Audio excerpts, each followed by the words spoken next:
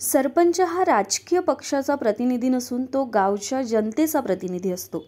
सरपंचाच्या विकास कामात गावातील वादविवाद बाजूला ठेवून विकास कामांना प्रतिसाद द्यावा. तसेच लोकप्रतिनिधी या नात्याने मी हवी ती मदत करणार असल्याची ग्वाही आमदार संग्राम थोपटे यांनी नवनिर्वाचित सरपंच सदस्यांना दिली आहे दादा मोठा यश आपल्याला तालुक्यामध्ये मिळालेलं आहे. अनेक पक्ष दावा करतात की सरपंच माझं.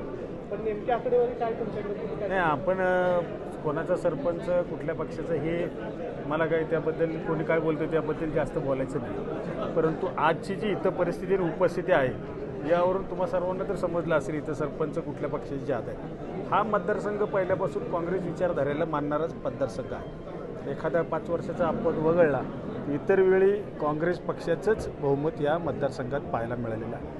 आता चोपन्न ग्रामपंचायतींपैकी सदतीस ग्रामपंचायतीचे सरपंच आणि सदस्य यांचा निकाल हा काँग्रेस पक्षाचे त्या ठिकाणी सदस्य आणि सरपंच झालेले आहेत. आणि याबद्दल आज त्यांचा जाहीर सत्कार आम्ही करण्याचं आयोजित केलेला आहे.